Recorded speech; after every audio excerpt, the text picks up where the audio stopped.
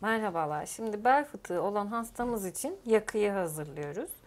Ee, Her bel fıtığı olmamak şartıyla özellikle patlamış bel fıtığı varsa hastanın ancak muayene bulgusu iyi ise bu yakıyı uygulayabiliyoruz. Bu yakı ne işe yarıyor? Ee, Bu yakı 24 saat hastanın bel bölgesindeyse fıtığı, belinde boyun bölgesindeyse boynunda takılı olarak kalıyor ve hasta sırt üstü yatıyor. Biz bunu yapıştırdığımız zaman difüzyon yoluyla o fıtığı küçülterek, suyunu emerek küçülmesini ve sinire olan basısının azalmasını sağlıyor. Daha sonrasında bu yakıdan bir ay sonra hastayı kontrol edip ağrıları tamamen geçmişse kontrolle devam ediyoruz. Eğer bir kısmı kaldıysa da bu sefer enjeksiyonla, proloterapi veya proz- prolozonla devam edebiliyoruz. Bu yakının içinde yaklaşık 40-50 tane bitkisel madde var. Herhangi bir ilaç yok. En önemli özelliği 24 saat hastanın e, bel bölgesinde kalması. Şimdi uygulayacağımız hasta bel fıtığı hastası. Bu bant yapıştırıldıktan sonra ağrılar biraz artabilir. Her hastada aynı olmamak şartıyla, bazılarında ağrısına değişiklik olmamak şartıyla, bazıları ağrısının çok arttığını söylemekte. Şimdi hastamıza önerilerde bulunurken de zaten bunlardan bahsedeceğiz. Hocam peki bu bant tek başına yeterli olur mu? Bazı hastalarda bu bant tek başına yeterli oluyor. Şöyle hasta bir ay sonra geliyor, muayenesi normal, hiçbir şikayeti yok. O zaman sadece kontrolle gidiyoruz. Ama bu yeterli olmadıysa, biraz daha şikayet varsa o zaman proloterapi veya prolozon uygulayabiliyoruz. Evet, şimdi hastamıza geliyoruz ve bel bölgesine direkt bunu yapıştırıyoruz ve sabitliyoruz. Hastamızı bir ay sonra kontrol edeceğiz. Hastaya bu bantı uyguladıktan sonra hasta araçta dahi sırt üstü yatarak gelecek. Bir tek yemek ve tuvalet için kalkacak. Bu şekilde sabitliyoruz. Bu arada size de bilgilendirme yapmış oluyoruz.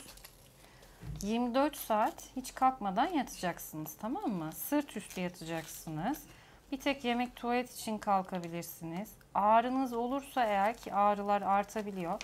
Her türlü ağrı kesici kullanmak serbest. 24 saat sonra bizim yapıştırdığımız saatte kendiniz sökerek çıkartacaksınız. Bir şeyle ıslatabilirsiniz bunu. Çıkarttıktan sonra 3 saat duş almayın ama 3 saat sonra duş alabilirsiniz. Bitkisel ürünler olduğu için bazı hassas ciltlerde cildi tahriş edebiliyor. Öyle bir şey olursa e, oraya, o bölgeye epiteyzen kremlerden sürebilirsiniz. Şimdi biz bu bantı yapıyoruz ya. Bu bant bel fıtığınızın suyunu emerek küçültecek ve oradaki sinir basısını kaldıracak. Yalnız bantı yaptıktan sonra 3-4 gün sonra ağrılarınız kesildiğinde ağrım kesildi diye e, kendinizi zorlamayın. Ters hareket yapmamaya çalışın. Ağır bir şeyi kaldırmayın. Yani ameliyat olmuş gibi kendinizi korumanız gerekiyor. Tamam mı? Yerden ağır bir şey kaldırmak, yattığınız yerden direkt kalkmak yok. Yan dönüp oturup öyle yataktan kalkacaksınız yattığınız yerden. Ağır bir şeyler taşımayın. Ya ağrınız geçse bile sanki ameliyat olmuş gibi kendinizi koruyun.